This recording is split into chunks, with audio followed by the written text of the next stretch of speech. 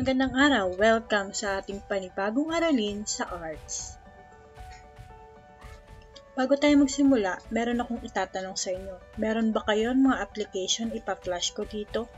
Bibilangin nyo kung ilan ang meron kayo ha. First, TikTok. Alam ko meron kayo niyan. Next, Tumblr. Instagram, syempre, meron. WeChat. Messenger, syempre, gamit na gamit. WhatsApp. And YouTube. And last is Facebook. Alam ko meron tayong yan. So, what are the relation of those uh, application in our topic for today? So, ngayon, gamit na gamit natin ng applications na yan or different social medias para i-post ang mga nagaganap sa ating buhay. Are we ready for our discussion? Okay, let's begin. So our topic for today is all about media, the media-based arts and design in the Philippines. Introduction From time to time, lalo na ngayong 21st century, mabilis na ang invention ng devices, gadgets, marami ng techniques na ginagamit ng mga modern artists to enhance their creative expressions.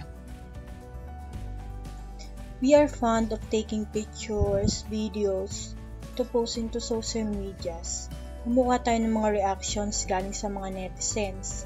Sila yung nagiging hurado natin kapag makakaunti yung heart, may sad face, or sad reacts, angry. So sila yung nagiging judge natin pagdating sa pag-post sa social medias.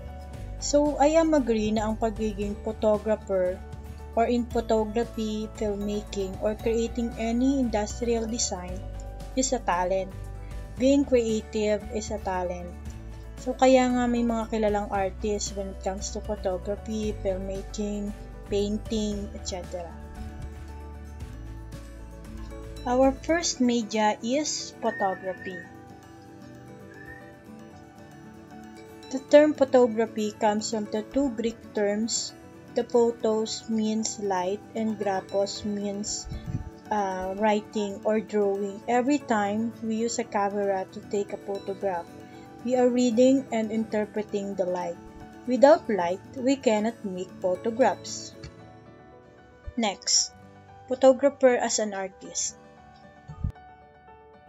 Photographer as an artist. You're being called as an artist when you know how to select a subject. In taking photos, focus your camera into subject and click the shutter that is called process. Having unique and significant expressions, having a unique frame of the pictures, and you get the eye of the composition produced after clicking the shutter is called art.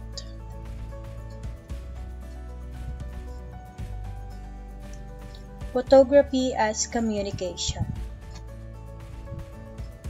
In this modern era, photo is the most powerful evidence, the most powerful way of communication. Halimbawa, pumunta ka sa ibang bansa, let's say France, pumunta ka sa Eiffel Tower. Kapag wala kang pictures na nandun ka sa Eiffel Tower or nandun ka sa France, ibig sabihin, hindi ka pumunta ng France. Kaya napaka-importante, lalo na sa ating mga Pilipino, na meron kang ebidensya, meron kang picture noteworthy Philippine photographers. Our first photographer is George Tapan, Master Travel Photographer. George Tapan is an award-winning travel photographer who has won two Pacific Asia Tourism Association Gold Awards, an ASEAN Tourism Association Award, and first place in the 2011 National Geographic Photo Contest. Here are the example of George Tappan captured photos.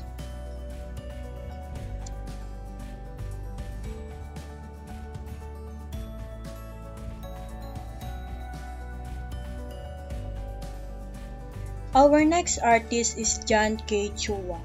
Technical excellence and mastery of notoriously challenging photo shoots, local and international awards, John K. Chua is an aerial photographer or commercial photographer.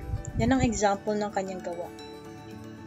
Most of his works ay kinuha niya talaga na nasa helicopter pa siya para makuha niya yung mga ganyang view.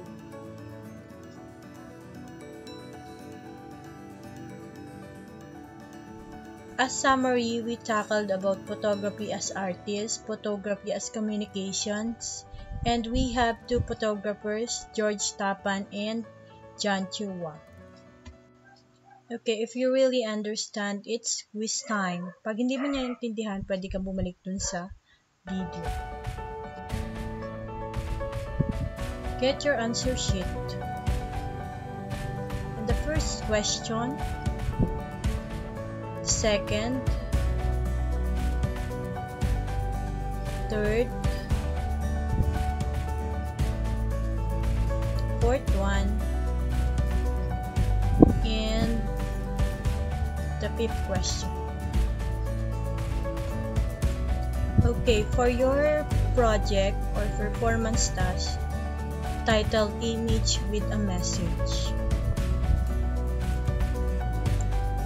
So, basahin mo muna at unawain yung nasa instruction sa answer sheets. Gumamit ng cellphone, tablet, DSLR, o kahit anong gadget basta may camera.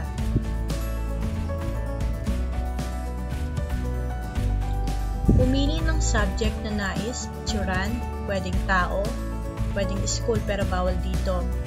Nature, insight, humor. And pumili ka ng isa sa mga pictures. Sa dami-dami ng picture, may isa siguro diyang mas maganda or pinakamaganda. Then,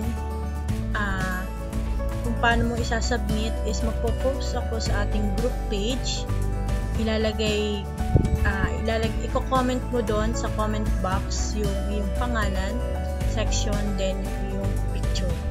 Okay? Nagets? Yes, congratulations.